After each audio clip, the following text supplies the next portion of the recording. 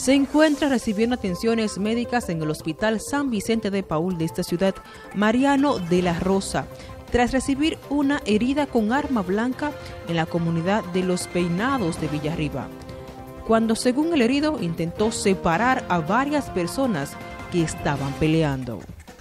No, yo estaba bebiendo y se me de discusión, yo me pie del motor y fui a decirle que dejaran eso.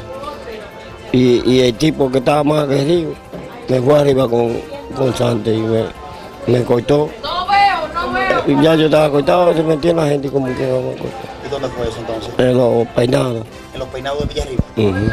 ¿A qué usted se dedica? ¿A qué usted hace? papá? Yo trabajo en agricultura, vaya. O sea, usted no tenía problema con esa gente, con ninguno. Con ninguno. ¿Quién era lo que estaban peleando? No, yo estaba discutiendo, me fui más de discusión. Giovanni Cordero, NTN, su noticiero regional.